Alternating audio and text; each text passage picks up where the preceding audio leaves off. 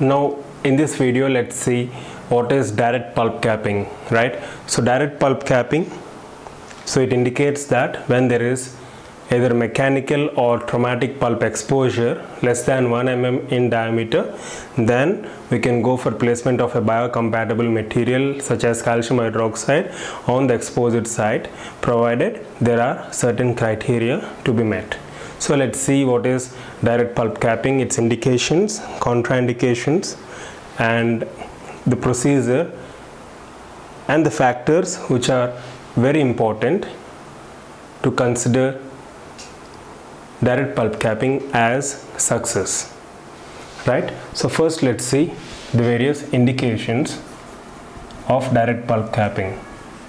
So the first and foremost is when there is mechanical exposure of pulp which is less than 1 mm in diameter. So in those cases direct pulp capping is indicated. And also when the bleeding is light in color and is readily controllable only then we proceed with direct pulp capping. And in cases of traumatic injuries to teeth or tooth provided the area has to be maintained dry clean and should be reported to the dentist within 24 hours. So only in these cases we indicate direct pulp capping and there are n number of cases where it is contraindicated. So let's see various contraindications. So pulp capping is contraindicated when there is pain or when there is pulpal inflammation or when there is mobility of tooth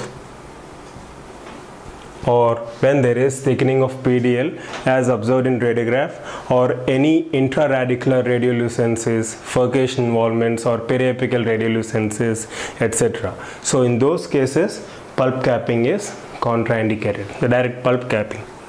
And most importantly, direct pulp capping is not indicated in primary tooth because of poorer prognosis. There can be either inflammation of pulp or necrosis, calcifications or resorptions or even intraradicular radiolucencies, right? So because of these drawbacks, usually direct pulp capping is not advised in primary teeth.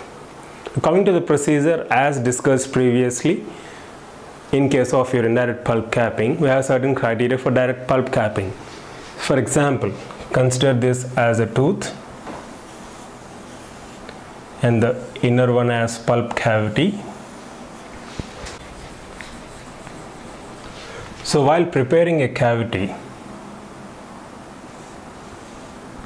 or during the procedure of caries excavation, there can be a mechanical exposure of pulp or in case of trauma there can be exposure of pulp. And if this pulpal exposure is less than 1 mm approximately or a pinpoint exposure in other words we can go for direct pulp capping. So for that as discussed previously pulp has to be maintained vital. And most importantly we should isolate the entire tooth from the oral cavity using a rubber dam anesthetize the tooth. And the first and foremost thing that has to be done is to control bleeding. So control bleeding and also make sure that there is no blood clot formation because once there is blood clot formation the moment you place a biocompatible material it is not going to come in touch with your vital pulp so there shouldn't be any blood clot formation and the biocompatible materials such as calcium hydroxide should be in direct touch with your vital pulp tissue so that there can be reparative or tertiary dentin formation right? So once you place a biocompatible material and then restore the tooth with a permanent restorative material it can be either an amalgam or composite or uh, intermediate restorative material right? Or a resin resin reinforced zinc oxide eugenol so once this procedure is completed as discussed in direct pulp capping this direct pulp capping can be considered successful when the pulp vitality is maintained when there is secondary sorry tertiary or reparative dentin formation or when there are no post-treatment symptoms such as pain, swelling, resorption or any periapical changes radiographically. So in such a scenario we consider direct pulp capping as success. However, one important point to be noted here is when there is pulpal exposure along the axial wall during a cavity prep or either because of trauma, usually when there is pulpal exposure along the axial wall, the pulpal tissue which is present coronal to this exposure is devoid of blood supply eventually undergoes inflammation and necrosis. So in these cases it is advisable to go for either pulpotomy or pulpectomy rather than direct pulp capping right please keep that in mind okay and then the objectives of direct pulp capping are similar to that of your indirect pulp capping, right? One of the most important objective is to maintain vitality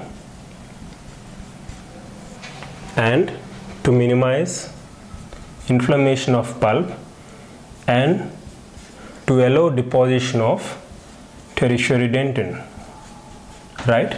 The objectives of direct pulp capping are more or less the same as that of your indirect pulp capping.